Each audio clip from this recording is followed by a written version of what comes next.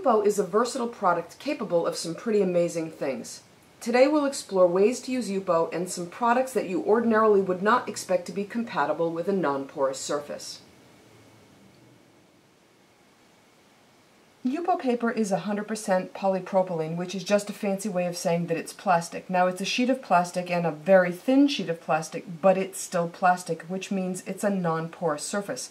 Having said that, you can do some things with Yupo that you would not expect to do with a non-porous surface, and we're going to talk about that. Now, if you've watched any of the videos that I've done with Yupo paper and alcohol ink, alcohol ink is a, is a product with a solvent base that's meant to be used on non-porous surfaces, and it does some incredible things on Yupo.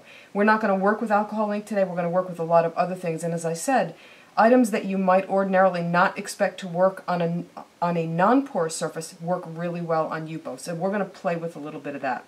The one thing that I want to tell you is that Yupo is sturdier than regular paper. You can erase on it. If it's wet, you can rub on it and it's not going to pill. It's virtually almost indestructible. You cannot tear it and it's pH neutral and of course because it's plastic there are no trees that are used in the process of creating Yupo paper. Now it has a really smooth finish so this is a piece, now I've got a, a 5x7 and a 9x12 pad here. This is a piece, I want to say that I cut a 9x12 sheet into some smaller pieces just to have something to work on. So you can see that this is the 74 pound Yupo, this is the white version, and colors that you put on this are going to be remain very true. There's nothing on here, there's not, not like working on a beige or a brown surface that's going to affect the color that you put on here. So it's very, very smooth as smooth or smoother than hot press watercolor paper. So that's a real distinct advantage. And it has this incredibly matte finish. I mean, if I hold this to the light, you cannot see any reflection. That's because there is no reflective reflectivity to this. It simply is very, very matte. Now, as I said, you can do some things with Yupo that you would not expect to with a non-porous surface. This is just a little sample that I made showing you various kinds of markers or pencils. So I used a number 5 and a number 2 pencil, and you can see that this will smudge a little bit. So that's one thing to consider. Now a lot of people work with watercolors on Yupo, and we're going to talk about that because what happens is now you're talking about products that have to evaporate off the surface. This is a Sharpie permanent pen, and this is one of the solvent-based ones, and it evaporates immediately. And in fact, even the water-based, like the Pitt pens here, and the extra fine Sharpie, the water-based pens, and even coming up here to the Pigma pens, even though they're water-based, they work perfectly well on this. And again, contrary to what you think should happen. In addition to that, you can use sprays on Yupo. This is two colors of Dylusions straight from the bottle. Now, one of the things that's very unique is that you get different kinds of patterning and pooling here than you would on regular paper because nothing absorbs. In fact, you have to either help the evaporative, evaporative process or you have to wait patiently, or in my case, not so patiently, for it to happen. So I'm going to grab a couple. These are just my diluted versions. I have Purple Twilight and Stream. These are both colors from the Ranger Adirondack Color Wash line.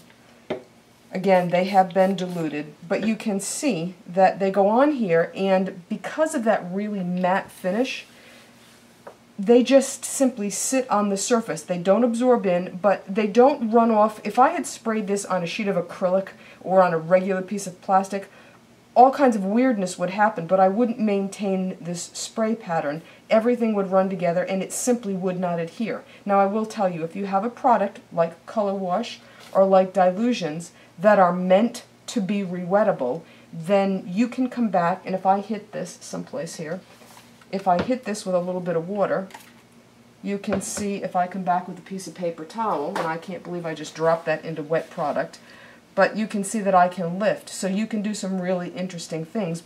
But again, you have to bear in mind what's going to happen if you re-wet things. Now that made some interesting patterning there. So though you might expect that aside from alcohol ink, you would not have a lot of use for Yupo, I can tell you, in fact, that there are a lot of really cool things that you can do with Yupo that we're going to talk about. Now, the one caveat I will tell you is that this is the same color stream that I just sprayed here, and this is Twisted Citron in the Distress Spray Stain line. Unlike the Color Wash or the Dylusions colors, distress spray stains do not dry particularly well on here. There must be something in there, whatever chemical or chemicals are used to create this, whatever resins are in there or not, simply don't agree particularly well with the Yupo. Now something else that I will tell you that Yupo is not real thrilled about is heat. But having said that, if you're judicious, you can use a heat tool to dry your Yupo paper or to dry whatever is on the Yupo. As I said, you have to wait for things to evaporate. It's not going to absorb the way that you ordinarily would expect it to. But you can see that I have this tool. It's about, I don't know, maybe four to six inches above the surface, and I'm not getting any buckling. I would not recommend that you use a really super strong, like you can get those paint stripper tools that you sometimes see people use if they really want to hurry along a drying process. I would not recommend that. I think it's simply going to be too much heat. But here's what I think gets really interesting. You can see a little bit of a bump starting there. As long as I'm careful, that won't remain, that buckle won't remain. But look at how this color dries very different than what it ordinarily would. You would expect Purple Twilight to look very much like this when it dries. Instead, it has this kind of cast or gray cast about it, very different than what it looks like when it comes out of the bottle. So you have the opportunity to get all kinds of fun and funky things happening when you work with Yupo paper, things that would not necessarily happen when you're working with regular porous paper. A moment ago I mentioned that the Distress spray stains do not dry particularly well on Yupo. The paints, however, are an entirely different story. Because they're multi-surface and because included in that multiple surface uh, usability is plastic, they work beautifully on Yupo. And especially because that Yupo has such a matte, smooth finish, you can do some amazing things.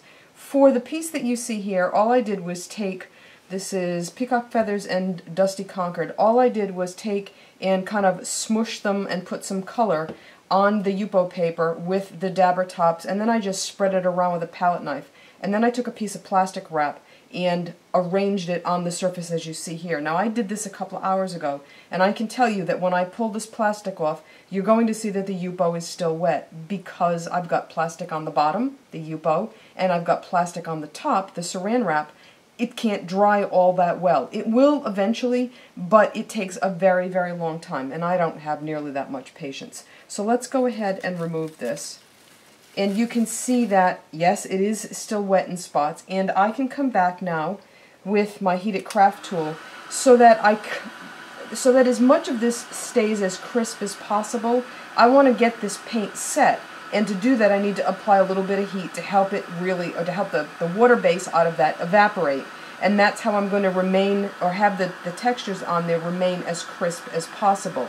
So if I put this to one side, this is probably set up enough now, there's enough liquid evaporated from the surface that the paint is not going to move and the texture will remain. So let's slide that out of the way and let it dry. If I bring in another piece of Yupo, you're going to see that there's enough paint left on the plastic wrap that I can turn this over, scrunch it, print it, and get an entirely different pattern on here. There's going to be less paint because a lot of it has stayed on that first piece, but I can take this off and create some really interesting results. Now I could dry this and come back and print it again, or I could print the paint that remains on another piece of Yupo. You don't need to see me do that multiple times. You know that it can happen, and that's really all you need to know. Now, all kinds of paint work on Yupo. Let's bring in two other colors of distress. I want to show you one quick thing, and then I'm going to show you some Dylusions paint too. I think I'm just going to take the lids off of these two colors. I have mustard seed and worn lipstick. Now this paintbrush I think has a little bit of black left over in it, so let's just go ahead and take that out. One of the things that I really like about Yupo is how flat the surface is. And I mean flat, I mean it is super, super smooth. It's very, very matte, and it produces really nice results. So I'm just going to dip my brush in the mustard seed and I just want to do this. And you can see that the paint goes on there really nicely. I get a nice smooth effect. I can do the same thing again here, and then I can do the same thing here. Now if I go ahead and I take most of that color out of the brush, and then I come in and I dip it in the worn lipstick, I can go right over the top here, and these colors will blend really nicely.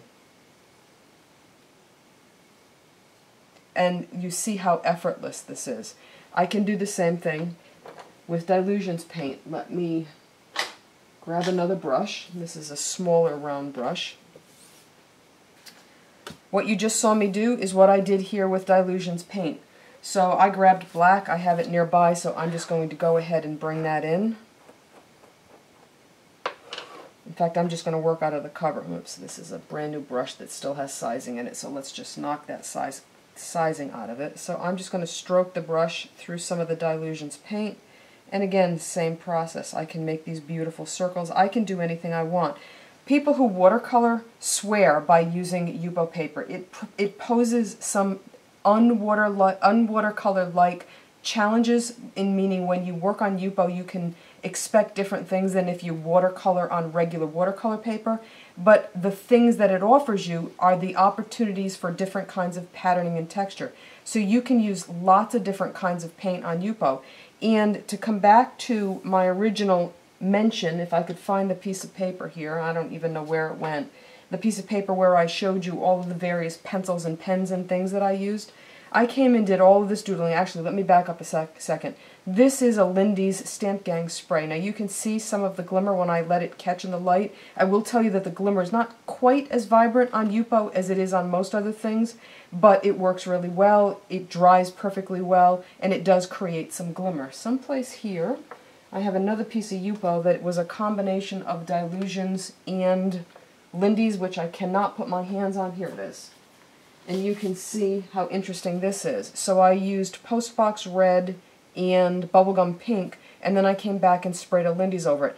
Again, when you use these sprays on Yupo, you get patterning that simply does not happen on a porous surface, so it's really interesting. Coming back to the pens, all of this doodling I did with a black Pitt S superfine pen, and you can see that it works really, really well, and it, it poses no challenges at all. Let's finish up today with a couple of things that we all do. Stamping and coloring and then cutting out, and then putting paint through a stencil. I want to show you how well this works on Yupo. Now I will give you one caveat. StazOn works beautifully if you're going to stamp on Yupo. I tried Archival with less success.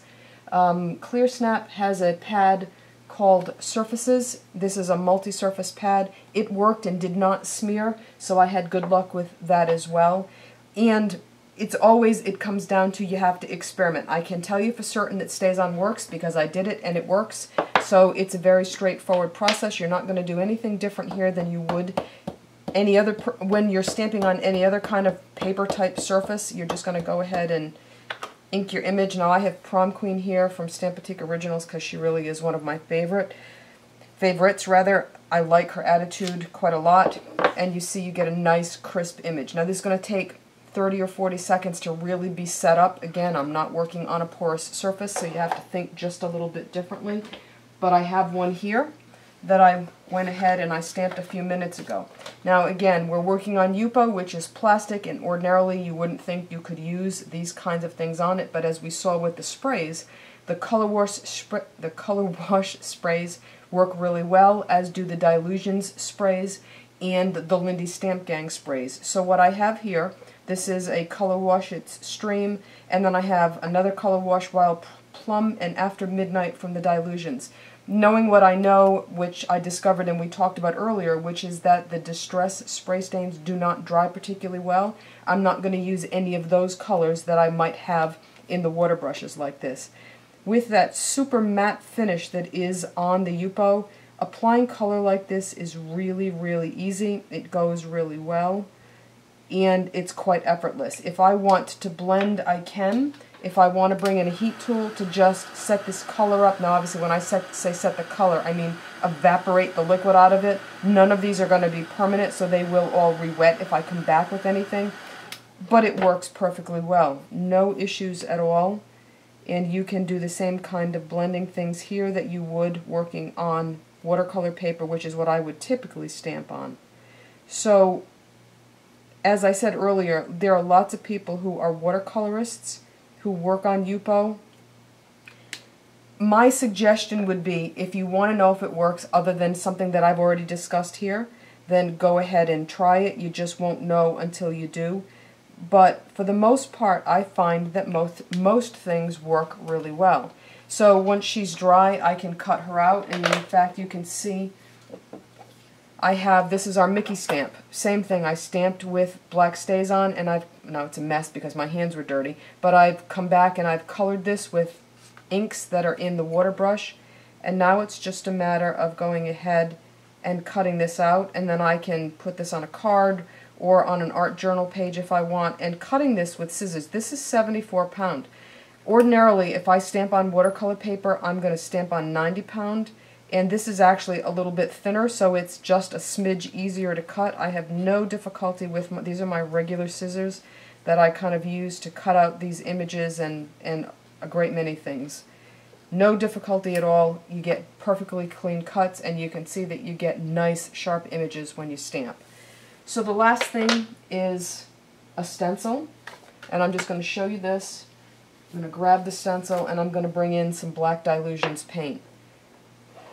I'm going to just bring in the cover. It'll be more than what I need. So you can see that I've gone ahead here and I've put the paint through. This is our Punchinella Quintet stencil. So let me turn this over since I've already done the stars. Let me go ahead and use the little dots. These are eighth inch circles. Now that's way too much paint, so I need to take a lot of it off. There actually was some on here from when I did the stars. And just like when you're working on paper, so long as you don't overload your ink blending tool, you're going to get a nice crisp image underneath. This is kind of my go-to tool when I want to put color through a stencil. I find that I get the best results, and I prefer, excuse me, I prefer the small round one over the rectangular one. Not for this kind of stuff because the foam is the foam is the foam, but when I'm doing other things I find that I get better results with this particular tool. Again, perfectly nice, crisp images. One of the things that Yupo is used for outside of our art and craft industry is it's used by the print industry, and the reason that they use it is because you can get such incredibly detailed, crisp lines on it. So Yupo paper, not just for alcohol inks, there's lots of different fun things that you can do with it.